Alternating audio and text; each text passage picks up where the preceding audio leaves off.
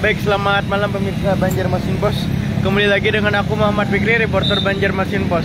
Uh, kali ini aku sedang berada di Jalan Ahmad Yani, tepatnya di depan lapangan sepak Takrao ya, uh, dekat lapangan Murjani ya.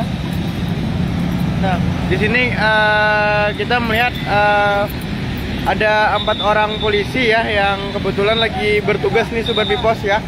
Nah, di jalan ini ya, tepatnya di Jalan Ahmad Yani ya di depan uh, kantor DPD Partai Nasdem nih seperti bos. Nah, uh, baik uh, terlihat di sini untuk arus lalu lintas uh, intensitasnya cukup tinggi sobat bipos ya, sangat ramai sekali. Di sini uh, polisi lalu lintasnya juga mengatur uh, kelajuan ya dan menyetop uh, pengguna jalan dari arah Banjarmasin yang menuju arah Bundaran Banjarbaru. Nah, uh, terlihat di sana Sobat Bipos uh, ada beberapa motor yang diberhentikan tadi Sobat Bipos ya. Uh, tadi ada yang enggak pakai helm dan di sana itu kayaknya karena knalpotnya uh, uh, blong ya Sobat Bipos ya. Nah. Nah, baik di, di sini Sobat Bipos. Nah, dia bagi Sobat Bipos yang mungkin akan melintas uh, bisa nih untuk uh, melengkapi ya uh, kendaraan uh, surat bawa suratnya juga bisa. Yang jelas uh, gunakan uh, helm ya sesu, sesuai dengan keamanannya ya. Tadi ada satu orang pengendara yang uh, diberhentikan ya sobat bibos ya. Itu ditilang nggak? Itu ditilang. Oh ya soalnya uh, menindaklanjuti yang surat dari apa jenderal kemarin ya? Iya. Eh. Kan uh, itu knalpotnya blong. Iya. Iya kebanyakan anak-anak knalpot blong ini kebun kita. Iya iya ya, siap siap. Nah, sama kan knalpot blong ini kita banyak di Banjarbaru kan banyak mengganggu. Ah, iya siap. kita mengurangi. Baik, ya. sobat Bipos ya. Nah, di sini uh, ada dua buah motor ya yang diberhentikan karena uh, knalpotnya blong sobat Bipos ya.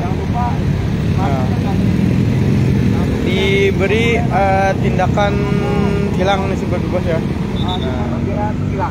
Nah, nah jadi uh, untuk pengendara Jupiter MX ini uh, di, nantinya diminta untuk uh, ke Polres Banjarbaru untuk mendatangi bagian tilang nih sobat bebas ya karena uh, ke, kenal kenal potnya uh, mengganggu perjalanan ya sobat bebas ya.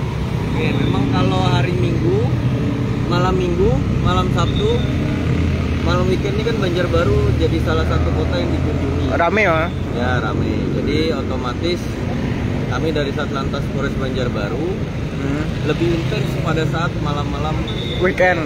Oh ya. Antisipasinya yang pertama perpadatan sama kemacetan hmm. supaya kita bisa mengurai. Makanya kadang-kadang di sini kita luruskan. Ya nanti kalau sudah terurai baru kita putar balikan. Oh putar yang balik. kedua antisipasi tentang adanya balap liar. Uh. nah itu nanti biasanya kita jalan mulai jam 9 sampai subuh.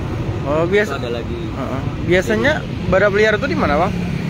Uh, tempat-tempatnya gitu? sementara yang sering ada itu yang dipakai anak-anak kebut-kebutan lah. Uh. itu sekitar gubernuran.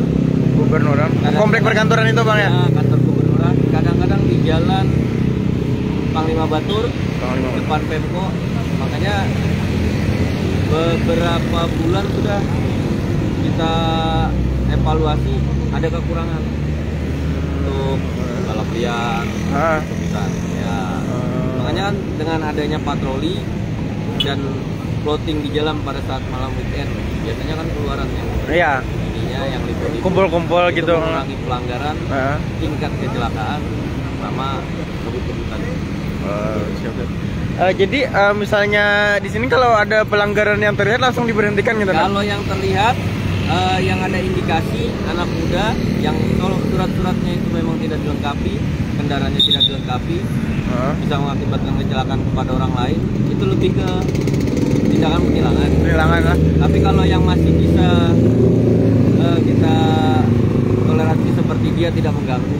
Mungkin kelupaan bawa helm kita suruh ambil helm. Oh, jadi sifatnya teguran.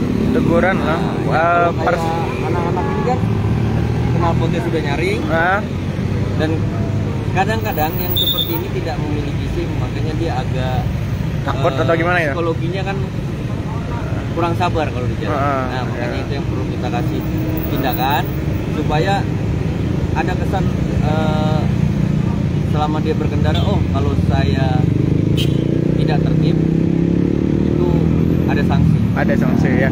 Eh, izin bang, untuk yang malam ini eh, tem- mungkin ditemui apa aja nih bang? Selain eh, dua knalpot blong ini? Rata-rata yang kita temui kayak tadi orang mau ke rumah sakit mungkin karena cepat-cepat istrinya sudah bekas operasi lalu lupa pakai helm jadi kita tadi kita tegur kita sarankan untuk menggunakan helm ambil helmnya diambil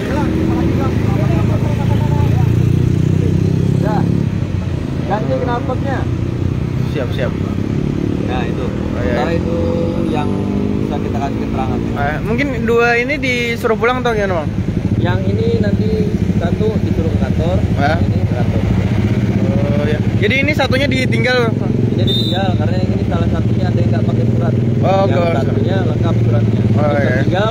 Makanya kalau suratnya yang tertinggal tidak ada yang bisa diamankan, otomatis yang kita amankan sepeda motor. Oh, Tapi siap. kalau misalnya dia memiliki SIM atau STNK, rata-rata kalau memang dia tidak membahayakan untuk orang lain, kita kasih siap. Berarti ini ditinggal dulu bang lah? Ini ditinggal kita bawa ke kantor. Oh, siap. Tadi sudah dilakukan penyelidikan sama anggota, dua-duanya sudah kita tilang. Eh, Bukan ini eh, dengan siapa nih bang? Saya Brigadier. Brigadian. Uh, uh, Brigadian. Ini ada dua tempat. Memang yang rawan di Banjarbaru itu satu di sini Fotoramat. Uh, di mana sini bang? Ini Uten Fotoramat depan Polsek Banjarbaru Utara. Ah ya. Satu lagi di eh, depan Bank BRI. Bank- Namanya Uten PJR. Oh siap Nah, siap. Berarti malam ini ada dua ya? Iya dua. Itu yang rawan macet, rawan perpadatan dan banyak pelanggaran. Oh, siap bang. Terima kasih bang. Ya. Nah itu dia sobat Bipos ya. Eh, malam ini ada dua titik yang dilakukan patroli ya sobat Bipos ya. Tadi ada Brigadian ya yang eh, memberikan firmannya ya. Nah sementara untuk kendaraan ini terpaksa untuk ditinggal dulu karena eh, tadinya enggak ada nih ya surat menyurat atau SIM yang eh, bisa di dikan ditinggal ya. Nah jadi terpaksa untuk pengendara tadi pulang bersama eh, rekannya, re- mungkin rekannya yang memakai Jupiter MX tadi ya sobat ya. Nah, jadi eh, untuk saat ini eh, kita lihat bersama untuk arus lalu lintas cukup tinggi nih sobat bibos ya. Nah saat ini untuk eh, anu masih berlangsung ya untuk eh, patrolinya masih berlangsung ya sobat bibos ya. Nah. Nah mungkin itu dia informasi dari aku malam ini Sobat Bos.